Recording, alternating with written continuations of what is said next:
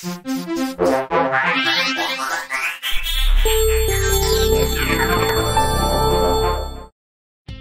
and welcome again to our video where we will cover a question many of you might have about healthy body detox.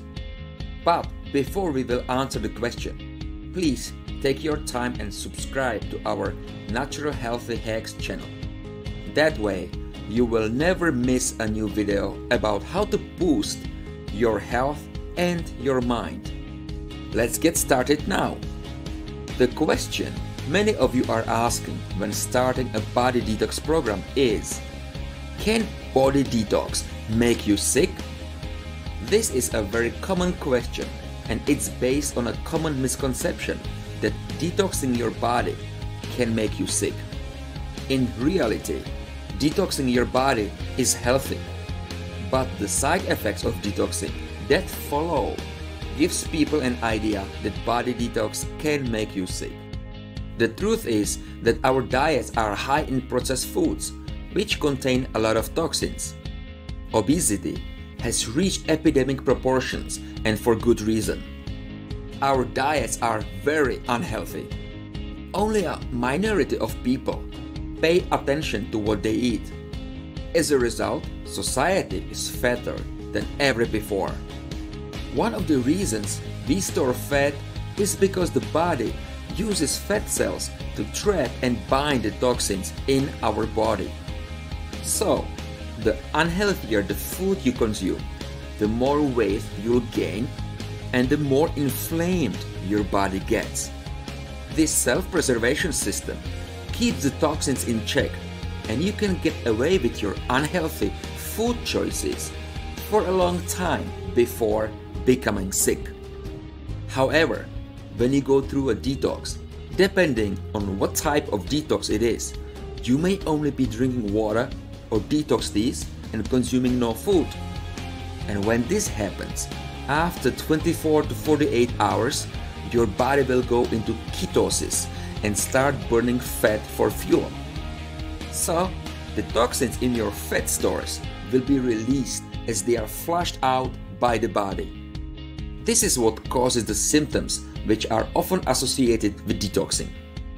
You may experience one or more of these body detox symptoms headaches, lethargy, flu like symptoms, nausea, dizziness, mood swings, irritability, weakness, brain fog, and much more.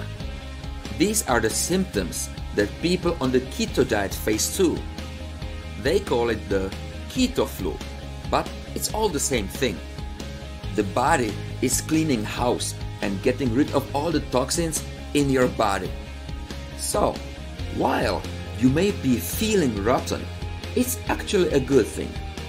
Whatever you're feeling is a side effect of the bad food choices that you made before.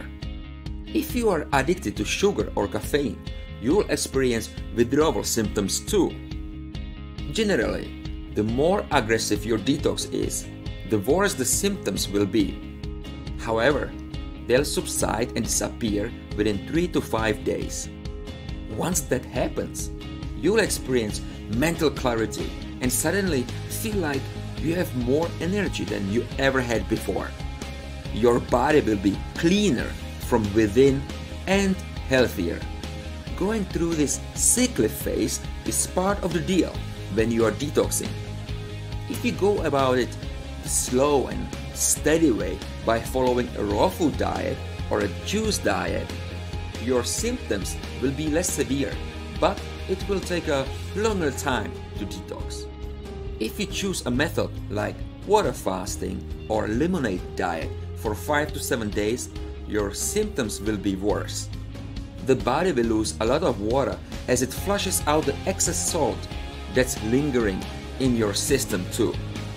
Which method you choose to use is up to you.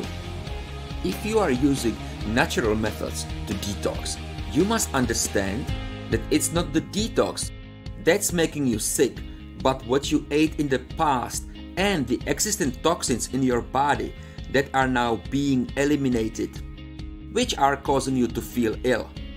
So, proceed with your detoxing in a sensible manner and you may wish to speak to your doctor before embarking on a detox. Did you like this video? Don't forget to give us like and also tell us in the comment section below this video what other healthy topic you would like to get information on. We will research the topic and make new video for you. And one last thing. If you did not do it before, hit the subscribe button and be the first one to see our new videos when they get published. On the next video, we will talk about the 5 tips that will make you healthier with Body Detox. See you there!